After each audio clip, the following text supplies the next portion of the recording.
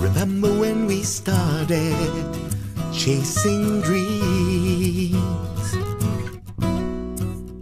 And together we broke barriers. We grew brighter and stronger,